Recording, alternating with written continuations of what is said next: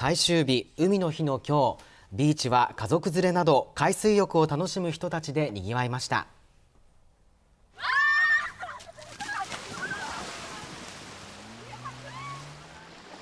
豊見城市のチラサンビーチには朝早くから多くの家族連れらが訪れ真夏の日差しの下海水浴やバーベキューを楽しんでいました。超気持ちいいです。子供が今日海の日だから海に行きたいって。来ました 海の日だしこの子がもう朝着替えてたんで水着に。天気もいいし。何歳なんですか？何歳ですか？2歳です。冷たい水入ってみてどうですか？気持ちいい？気持ちいい。です乾杯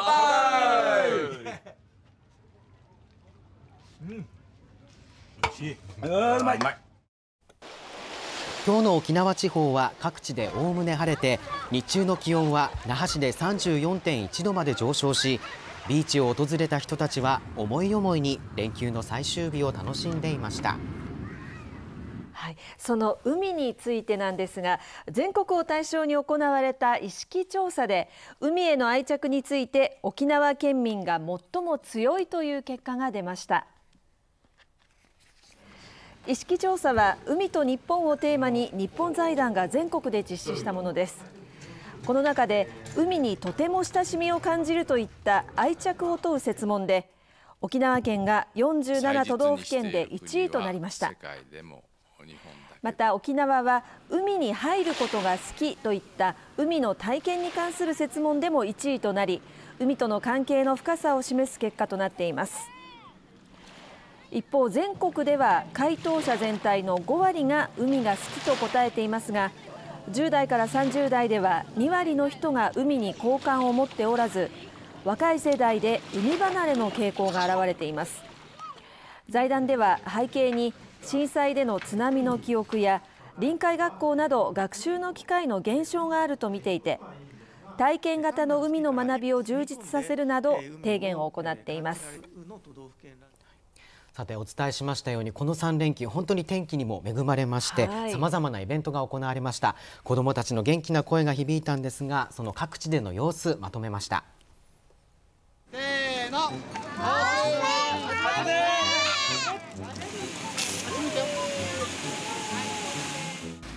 今日灰原町で開かれたのは灰原夏祭りキッズパークです。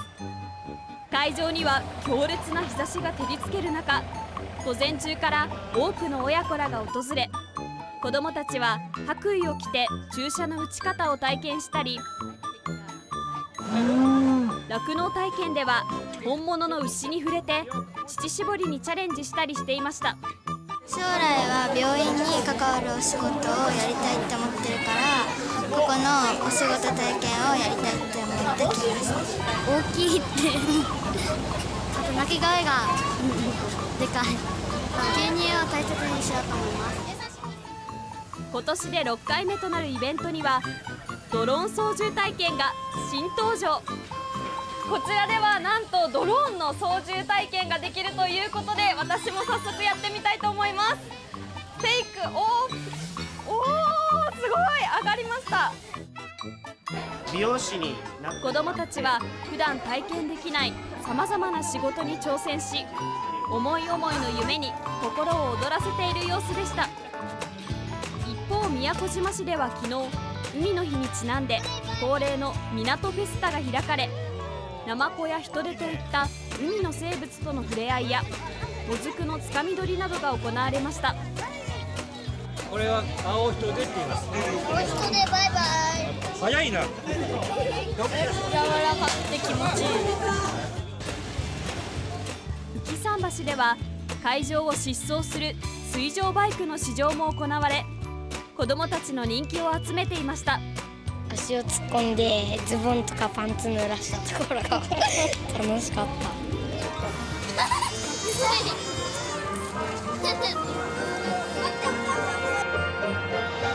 一方おととい県総合運動公園には朝から大勢の家族連れが訪れました竹を割った問いを伝って流れてくる。涼しげな流しそうめん。子どもたちは積極的に箸を伸ばし夏の味覚に舌鼓を打っていました。ちたこちたこちたこちたおいしょ。美味しいです。チルチルしてる。何？チルチルしてるさらに隣の広場には美味しそうなマンゴーが並んでいます。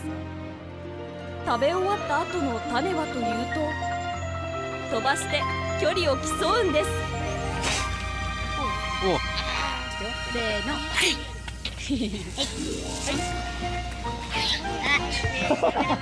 土下やって飛ばしたとよあれ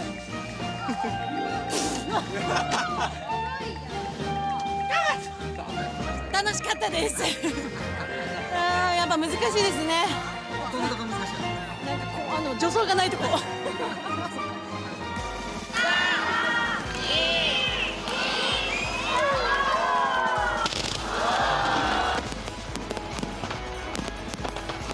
夜には今年で39回目を迎える海洋博公園花火大会が行われ夜空を彩る1万発の花火に大きな歓声が上がりました。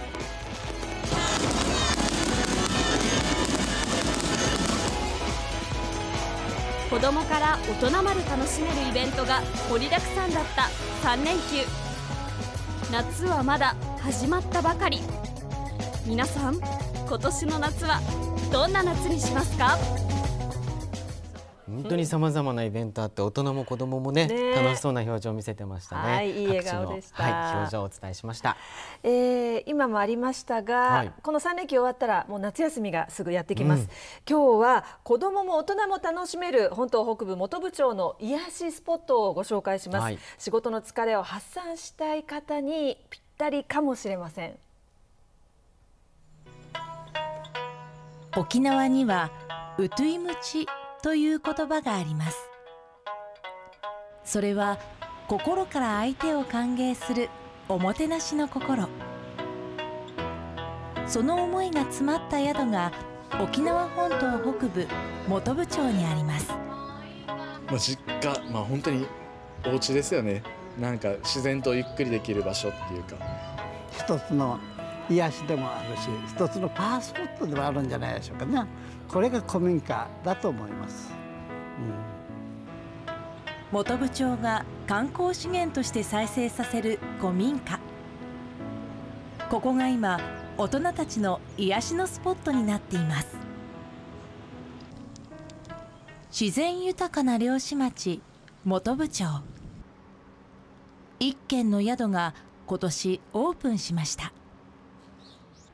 琉球古民家トゥマイバル。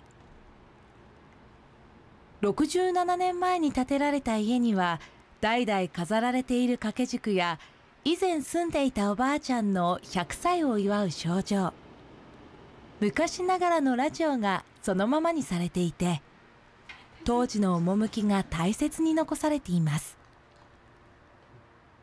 この古民家再生に力を入れるのが本部町観光協会の遠山清弘さん。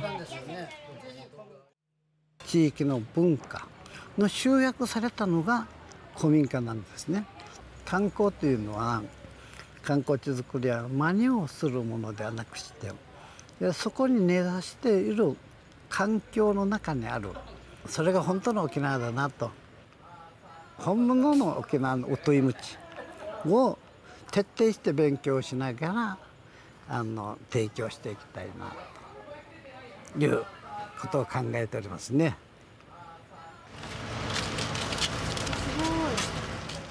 沖縄の原風景が残るトゥマイバル。宿泊できるのは1日1組。この日は友人同士が家族連れで宿泊です。自分は3回目ぐらいですね。はい。もうハマります。もう最高っす本当に。ここの魅力は宿泊だけではありません。夜ご飯を取りに行きます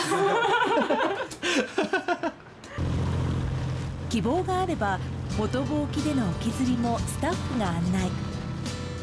移動途中にはサンゴ観察もできます。これも本部町の自然を生かしたウトゥイムチです。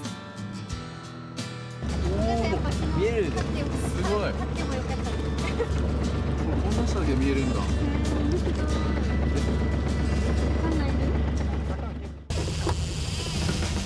そうして沖釣りがスタート。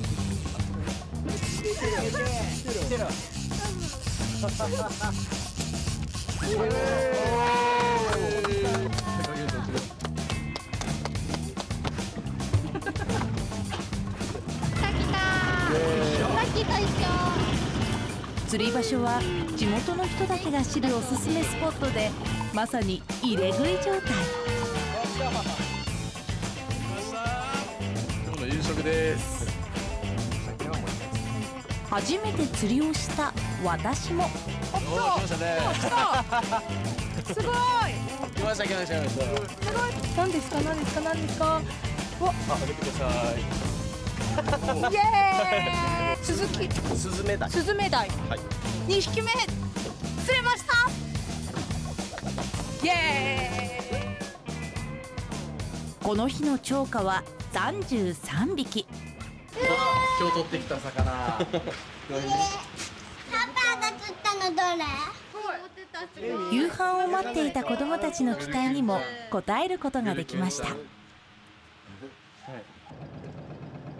中でもグルクンは釣った人だけが味わえる美味しさがあります。鮮度を保つのが難しいグルクンは生で食べられるのは釣った当日だけ。釣った人だけの特権なんです。やっぱりうまい。グルクン最高です。本部町には古民家を使ったさまざまな施設があります。福木並木の中に佇むのは築60年の古民家を利用した食事処ちゃんやオーナーの本家でもある施設には仏壇などがそのまま残され当時の風情を楽しみながら味わうことができるのは甘みと旨みが凝縮されたやんばる島豚アグーです。なんか不思議と落ち着きます。おじいちゃんとかおばあちゃんのお家で食べてるみたいな落ち着きがあります。この他にも長期滞在や観光利用の宿泊施設としてさまざまな古民家の活用が始まっていて本部町の新たな魅力になっています。一方トゥマイバルはそろそろ縁も竹縄です。あの子供より大人が楽しんでるよ。ありがとうございます子供より大人がっていうよりは、子供のように大人が楽しんでるみたいなああ、それは最高ですよ。本当にありがとうございますおそうよ、カリーさんだ。カリーさんだ。カリ疲れた体に地域の人たちの優しい心が染みます本部町のウトゥイ道はこれからも多くの人の心を癒していきます。いやー贅沢。ねいい時間ですね。最高ですよね、うん。あの古民家もそうですし自然お魚とか、はい。本当にそのままあるものをそのまま体験して味わうことができる、はい。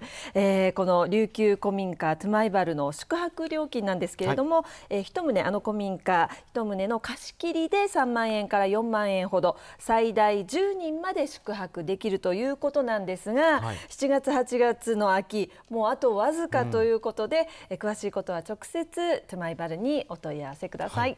でちなみにこのトゥマイバルは本来は本家ムートヤーなんだそうで家族の行事があるときは宿泊は受け付けていないということではい。ご注意ください、さあこの後は CM を挟んで高校野球決勝の模様をたっぷりとお伝えします。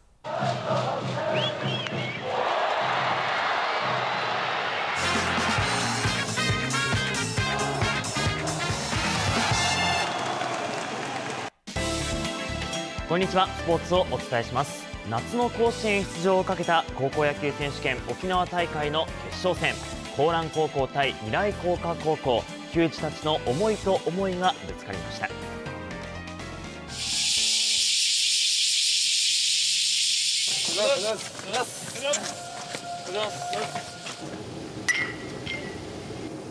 決勝戦当日。この夏2年ぶりの甲子園を目指す江南高校。憧れのグラウンドに自分たちも立つ。思いを一つに勝負の一日を迎えました。苦しいことの方が、まあ、本当に多かったんですけど仲間と一緒にそれを乗り越えてきたっていうのがとても大きいものだと思います。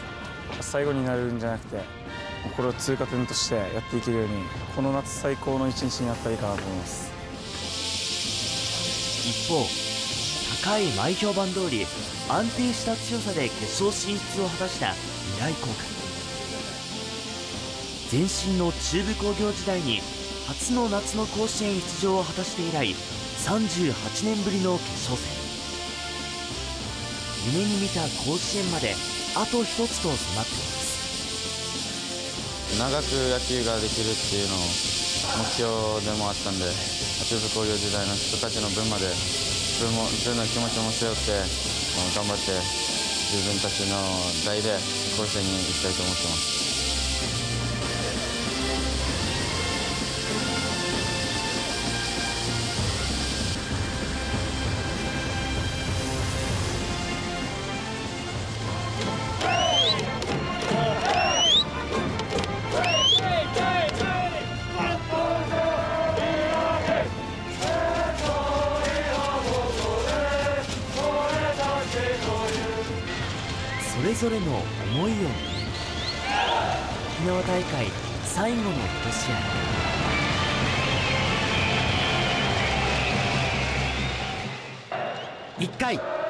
は未来高科の絶対的エース山内の立ち上がりを攻めます。三塁二塁のチャンスを作り4番キャプテンの福本。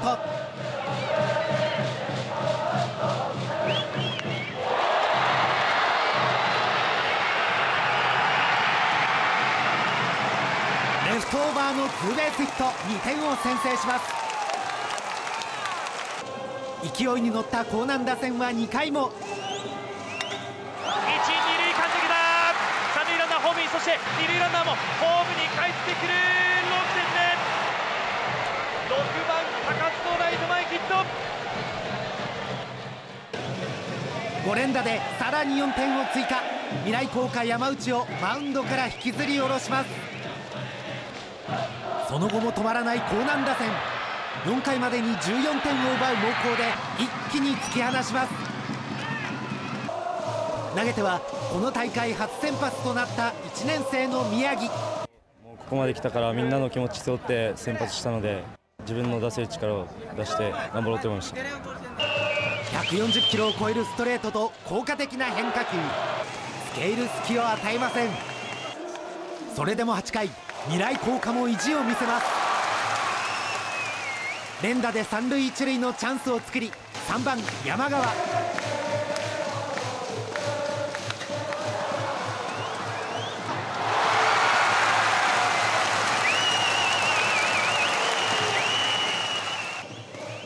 しかし反撃はここまで。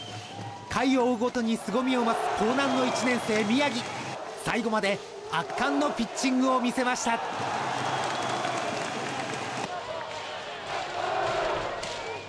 空振り三振。江南高校。1年生宮城に導かれマウンドに輪が出来上がりました。目標としてやってきたので、まあ、ちょっと今は信じられない気持ちなんですけどもう野球やってきてよかったなこのメンバーとやってきてよかったなと思います。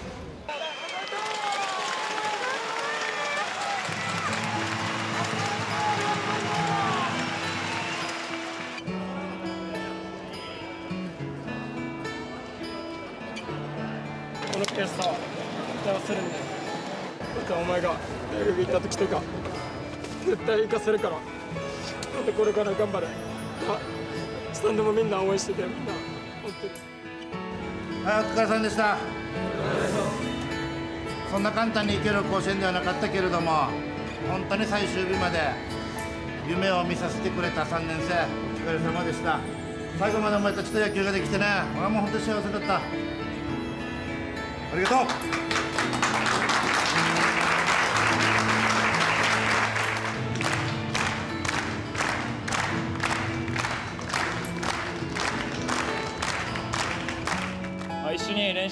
頑張ってきてこうやって130名で優勝取れたのはもう本当に大きいものとなっています。今日は暑い中応援ありがとうございました。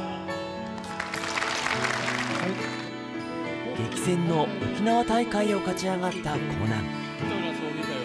全64校の代表として甲子園大会に臨みます。決勝戦点差こそ離れてはしまったんですけれども互いに気持ちを見せたゲームとなりました湖南高校は2年ぶり11回目の甲子園出場。敗れた高校の分まで頑張ってほしいと思います。変わってはサッカー J3 の FC 琉球です。チームの PR 役を務めるアンバサダーに元日本代表の北澤剛さんが就任しました。ホームゲームの模様と合わせてお伝えします。日本サッカー協会理事や日本障害者サッカー連盟の会長などを務め競技普及の活動をしている北澤さん。沖縄が妻のふるさとで子どもたちへのサッカー指導などでも訪れている縁での就任となりました。空港にも今日たくさんの観光客の人たちが来ていましたけども、まあ、そういった方ができるだけそのスポーツの方に感染していくような形がまた取れればなと思うのでそういったところまで引っ張り込めればなというふうに思ってます。北澤さんは琉球の PR や若手選手へのアドバイザー役にも意欲を示していましたまたおととい行われた FC 琉球ホームゲーム。白のユニフォームギラバンズ北九州との試合は0対0で迎えた後半最後のプレー。相手ゴールに迫りましたが得点はならずスコアレスの引き分けとなりました。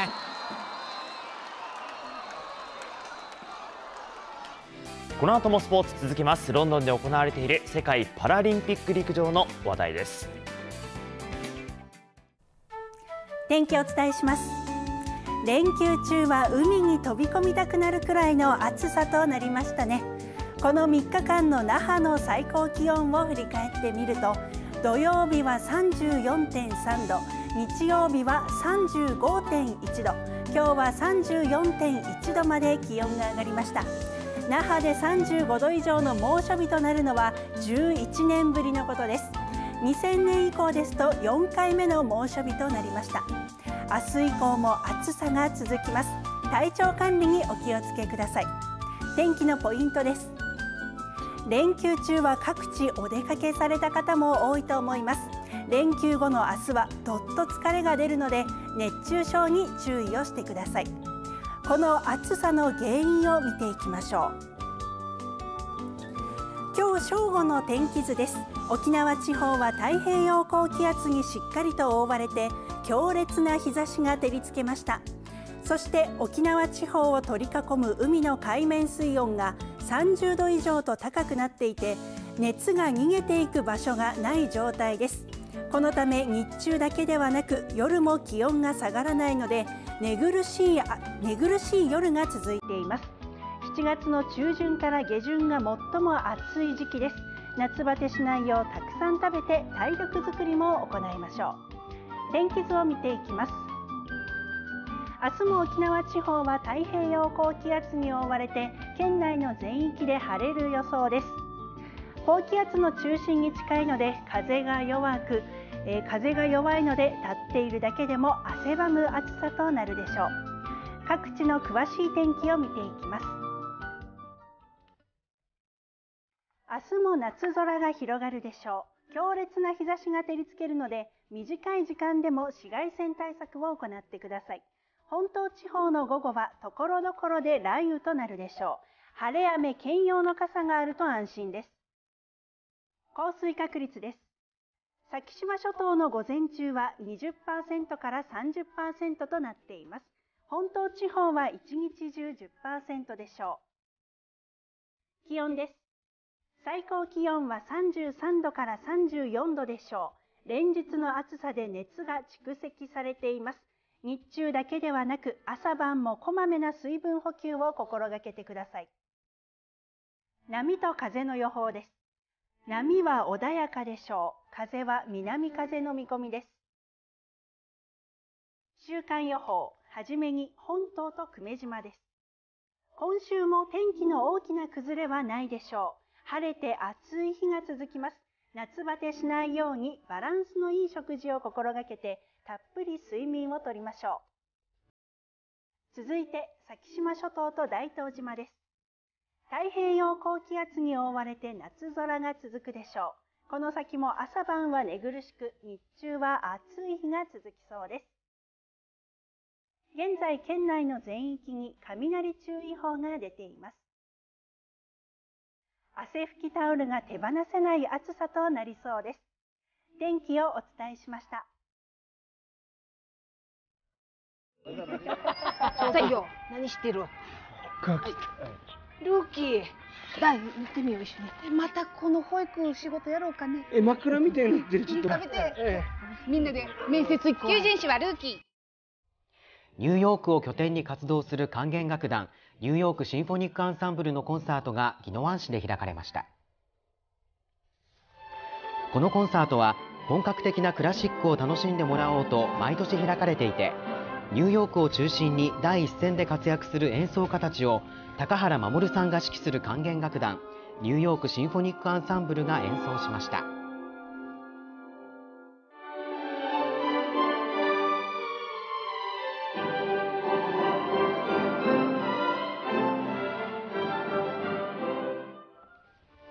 この楽団は毎年国連本部で開催される表彰式典で独自にアレンジした演奏を披露し好評を博するなど世界で活躍しています。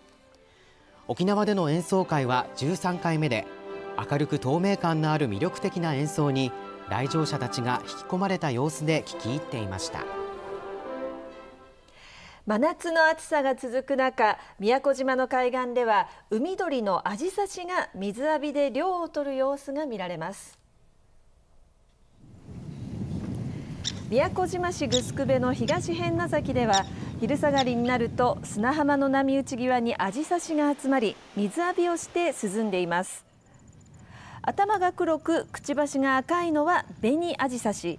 目から後頭部に黒い帯があるのはエリグロアジサシでいずれも東南アジアから渡ってきて繁殖しますが今年は例年よりベニアジサシの数が少ないようです。この水浴びは近くの岩場で繁殖中のアジサシにとっては炎天下の卵やヒナを濡れた体で冷やす目的もあるということです。先ほどちょっと映像乱れました。失礼いたしました。さて明日は全国的に豪雨による被害が相次ぐ中県内でも先月19日の大雨で西原町の小発川などが氾濫を起こしました、台風が多くなる季節を前に被害を少なくするための対策について特集でお伝えします。スポーツは西原町で開かれた恒例のビーチバレーボール大会です。今年は105チーム420人が青い海と白い砂浜のコントラストの中競技を楽しみましたそれでは RBC ザニュース今夜はこの辺で失礼します。失礼します。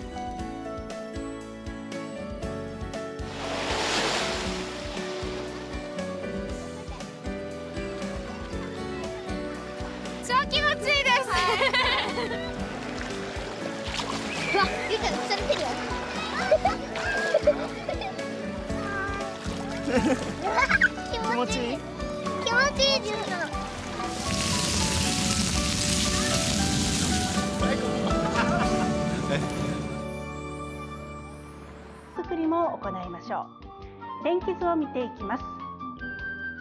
明日も沖縄地方は太平洋高気圧に覆われて県内の全域で晴れる予想です。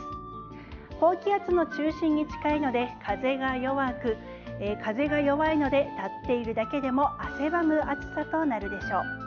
各地の詳しい天気を見ていきます。明日も夏空が広がるでしょう。強烈な日差しが照りつけるので短い時間でも紫外線対策を行ってください。本島地方の午後はところどころで雷雨となるでしょう。晴れ雨兼用の傘があると安心です。降水確率です。先島諸島の午前中は20%から30%となっています。本島地方は一日中10%でしょう。気温です。最高気温は33度から34度でしょう。連日の暑さで熱が蓄積されています。日中だけではなく朝晩もこまめな水分補給を心がけてください。波と風の予報です。波は穏やかでしょう。風は南風の見込みです。週間予報、はじめに本島と久米島です。今週も天気の大きな崩れはないでしょう。晴れて暑い日が続きます。夏バテしないようにバランスのいい食事を心がけて、たっぷり睡眠をとりましょう。続いて、先島諸島と大東島です。太平洋高気圧に覆われて夏空が続くでしょう。この先も朝晩は寝苦しく、日中は暑い日が続きそうです。現在県内の全域に雷注意報が出ています。汗拭きタオルが手放せない暑さとなりそうです。天気をお伝えしました。さいよ、何してる？ルーキー、だい、見てみよう、一緒に。またこの保育仕事やろうかね。え、枕みたいになってる、ちょっと。食べて、みんなで面接行こう。求人誌はルーキー。ニューヨークを拠点に活動する管弦楽団ニューヨークシンフォニックアンサンブルのコンサートが宜野湾市で開かれました。このコンサートは本格的なクラシックを楽しんでもらおうと毎年開かれていてニューヨークを中心に第一線で活躍する演奏家たちを高原守さんが指揮する管弦楽団ニューヨークシンフォニックアンサンブルが演奏しました。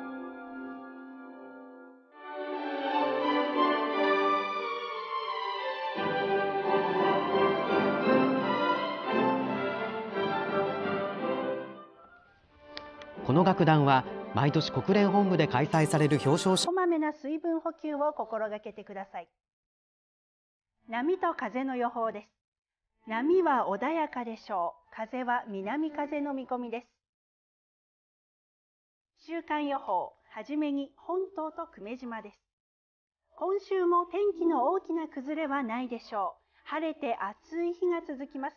夏バテしないようにバランスのいい食事を心がけてたっぷり睡眠をとりましょう。続いて、先島諸島と大東島です。太平洋高気圧に覆われて夏空が続くでしょう。この先も朝晩は寝苦しく、日中は暑い日が続きそうです。現在県内の全域に雷注意報が出ています。汗拭きタオルが手放せない暑さとなりそうです。天気をお伝えしました。さいよ、何してる？ルーキー、だい、見てみよう、一緒に。またこの保育仕事やろうかね。え、枕みたいになってる、ちょっと。食べて、みんなで面接行こう。求人誌はルーキー。ニューヨークを拠点に活動する管弦楽団ニューヨークシンフォニックアンサンブルのコンサートが宜野湾市で開かれましたこのコンサートは本格的なクラシックを楽しんでもらおうと毎年開かれていてニューヨークを中心に第一線で活躍する演奏家たちを高原守さんが指揮する管弦楽団ニューヨークシンフォニックアンサンブルが演奏しました。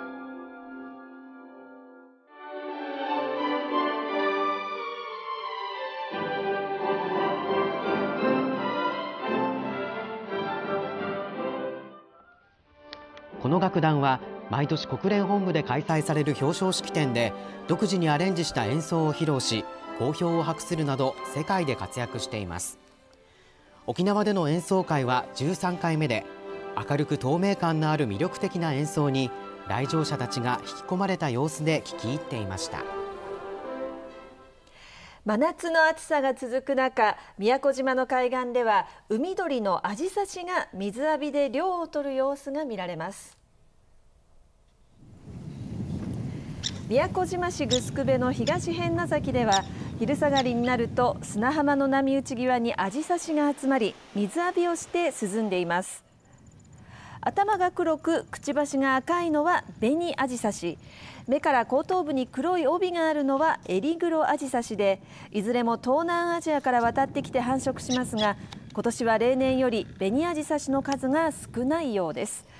この水浴びは近くの岩場で繁殖中のアジサシにとっては炎天下の卵やヒナを濡れた体で冷やす目的もあるということです。柔らかくて気持ちいい浮桟橋では会場を疾走する水上バイクの試乗も行われ子どもたちの人気を集めていました。足を突っ込んでズボンとかパンツ濡らしたところが 楽しかった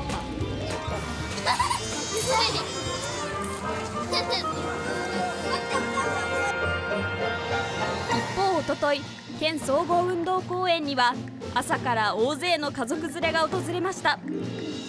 竹を割ったトイを伝って流れてくる涼しげな流しそうめん。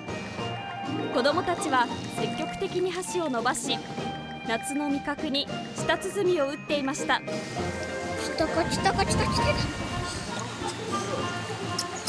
おいしょ。美味しいです。チュルチュルしてる。何？チュルチュルしてる。さらに隣の広場には美味しそうなマンゴーが並んでいます。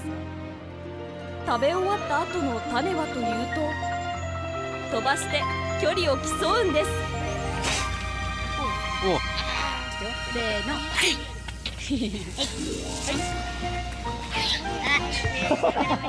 土下やって飛ばしたとよあれ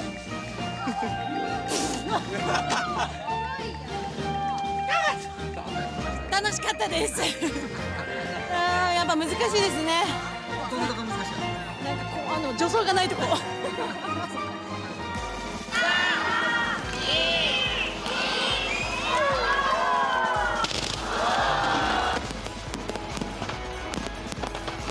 夜には今年で39回目を迎える海洋博公園。花火大会が行われ夜空を彩る1万発の花火に大きな歓声が上がりました。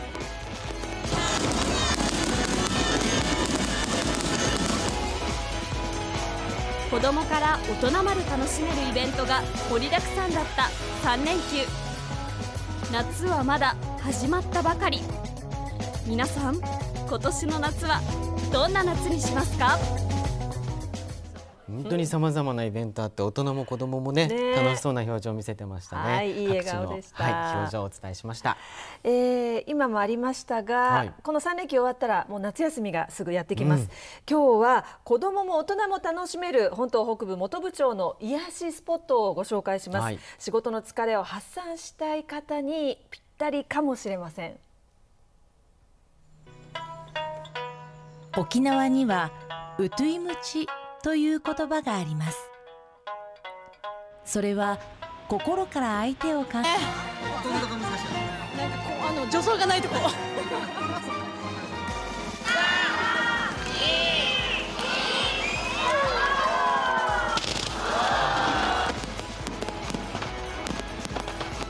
夜には今年で39回目を迎える海洋博公園花火大会が行われ夜空を彩る1万発の花火に大きな歓声が上がりました。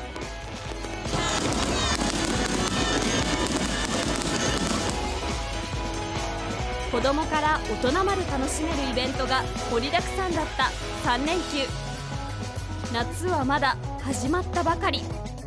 皆さん今年の夏はどんな夏にしますか？本当にさまざまなイベントあって大人も子供もねね。楽しそうな表情を見せてましたね。はいいい笑顔でした。各地のはい、表情をお伝えしました。えー今もありましたが、はい。この3連休終わったらもう夏休みがすぐやってきます、うん。今日は子どもも大人も楽しめる本島北部本部町の癒しスポットをご紹介します、はい。仕事の疲れを発散したい方にぴったりかもしれません。沖縄にはウトゥイムチという言葉があります。それは心から相手を歓迎するおもてなしの心。その思いが詰まった宿が沖縄本島北部本部町にあります。まあ、実家、まあ、本当にお家ですよね。なんか自然とゆっくりできる場所っていうか。一つの癒しでもあるし一つのパワースポットでもあるんじゃないでしょうかね。これが古民家だと思います、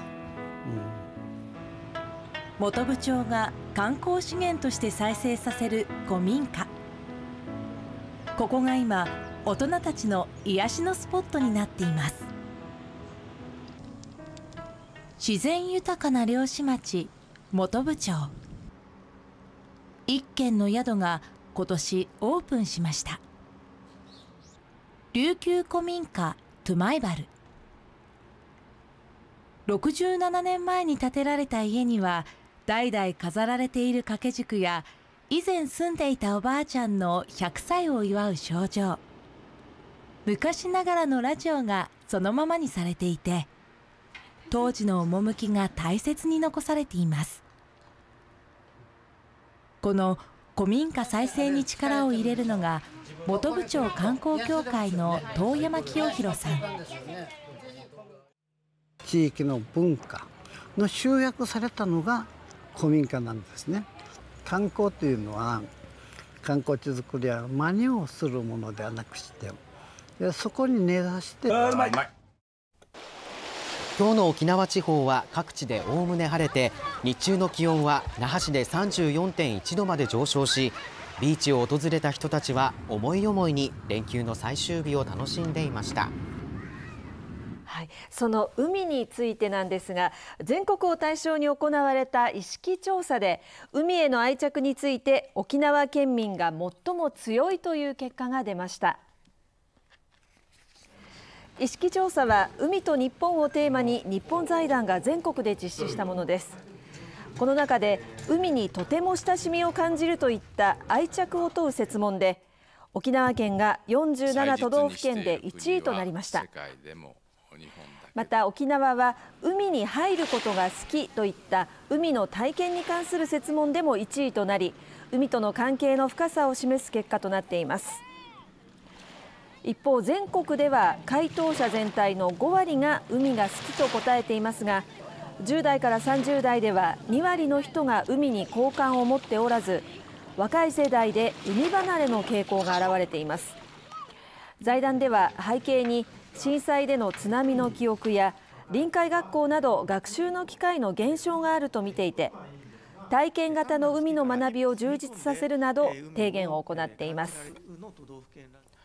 さてお伝えしましたようにこの3連休本当に天気にも恵まれましてさまざまなイベントが行われました。子どもたちの元気な声が響いたんですがその各地での様子まとめました。せーの。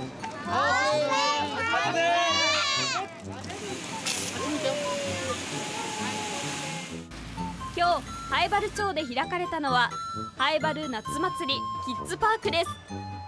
会場には強烈な日差しが照りつける中午前中から多くの親子らが訪れ子どもたちは白衣を着て注射の打ち方を体験したり酪農体験では本物の牛に触れて乳搾りにチャレンジしたりしていました。将来は病院に関わるお仕事をやりたいって思ってるからここのお仕事体験をやりたいって思ってきました。大きいって。あと鳴き声がでかい牛乳を大切にしようと思います今年で6回目となるイベントにはドローン操縦体験が新登場。こちらではなんとドローンの操縦体験ができるということで私も早速やってみたいと思います。テイクオーおーすごい上がりました。美容師に子どもたちは普段体験できないさまざまな仕事に挑戦し思い思いの夢に心を躍らせている様子でした。こんにちは。スポーツをお伝えします。夏の甲子園出場をかけた高校野球選手権沖縄大会の決勝戦。高蘭高校対未来工科高校。球児たちの思いと思いがぶつかりました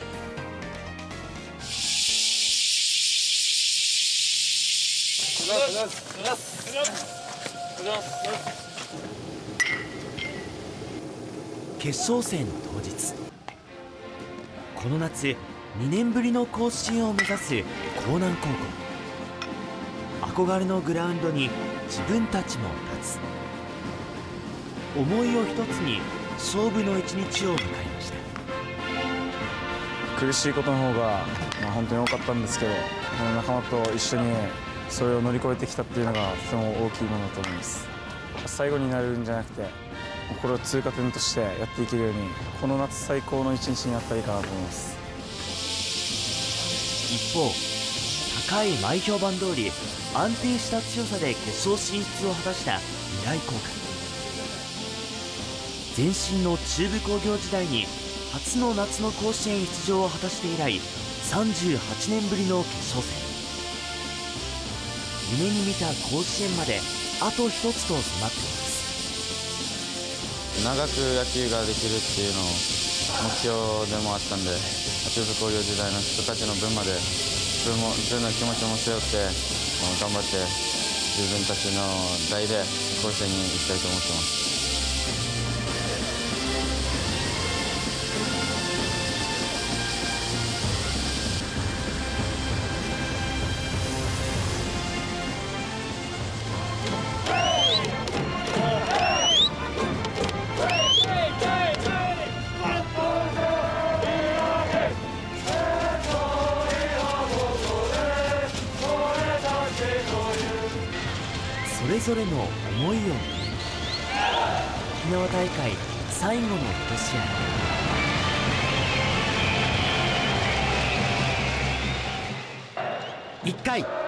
は未来効果の絶対的エース山内の立ち上がりを攻めます。三塁二塁のチャンスを作り4番キャプテンの福本。レ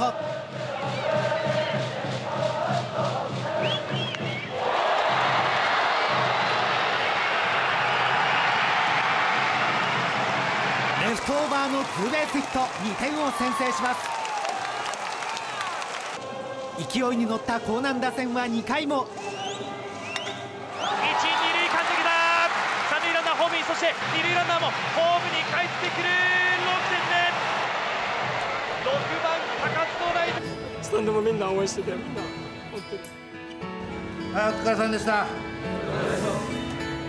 そんな簡単にいける甲子園ではなかったけれども本当に最終日まで夢を見させてくれた3年生お疲れ様でした。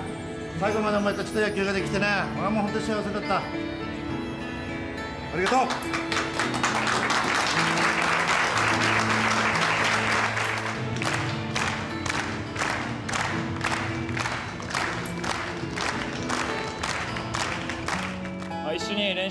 頑張ってきてこうやって130名で優勝を取れたのはもう本当に大きいものとなっています。今日は暑い中応援ありがとうございました。激戦の沖縄大会を勝ち上がった江南。全64校の代表として甲子園大会に臨みます。決勝戦点差こそ離れてはしまったんですけれども互いに気持ちを見せたゲームとなりました湖南高校は2年ぶり11回目の甲子園出場。敗れた高校の分まで頑張ってほしいと思います。変わってはサッカー J3 の FC 琉球です。チームの PR 役を務めるアンバサダーに元日本代表の北澤剛さんが就任しました。ホームゲームの模様と合わせてお伝えします。日本サッカー協会理事や日本障害者サッカー連盟の会長などを務め競技普及の活動をしている北澤さん。沖縄が妻のふるさとで子どもたちへのサッカー指導などでも訪れている縁での就任となりました。空港にも今日たくさんの観光客の人たちが来ていましたけども、まあ、そういった方ができるだけそのスポーツの方に感染していくような形がまた取れればなと思うのでそういったところまで引っ張り込めればなというふうに思ってます。北澤さんは琉球の PR や若手選手へのアドバイザー役にも意欲を示していましたまたおととい行われた FC 琉球ホームゲーム。白のユニフォームギラバンツ北九州との試合は0対0で迎えた後半最後のプレー。相手ゴールに迫りましたが得点はならず。スコアレスの引き分けとなりました。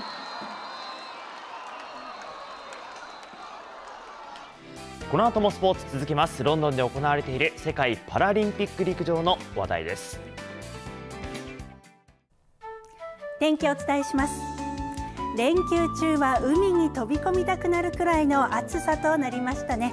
この3日間の那覇の最高気温を振り返ってみると土曜日は34.3度日曜日は35.1度今日は34.1度まで気温が上がりました。